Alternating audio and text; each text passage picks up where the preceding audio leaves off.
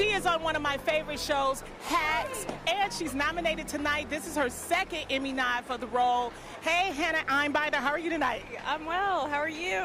I am excellent. And you know what? What are you going to do to celebrate tonight?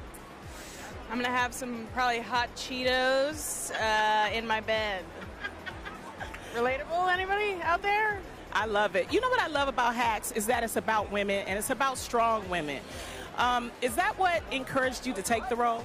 Well, what encouraged me to, I mean, I was like, there was, uh, the, I was dying to ha- take this role. Like, there was no world in which I would ever, you know, it, it came along like right in the beginning of the pandemic and I, my background is in stand-up comedy and like that world just kind of shut down and so this came across my desk my bed and um, i just it stood out so much to me as like such an incredibly uh, sort of high quality piece of material and i was just like dying to be a part of it. So i mean yeah every every element of it about women and queer people and their strength and their humanization and like real sort of uh, the core of the show being like empathizing with these people was like jumped out. I well, that's why we love it. And you know what? I also love your fashion. Tell me about it. Oh, thank you. This is a custom Rodarte dress. Oh, girl, yes. Come on now.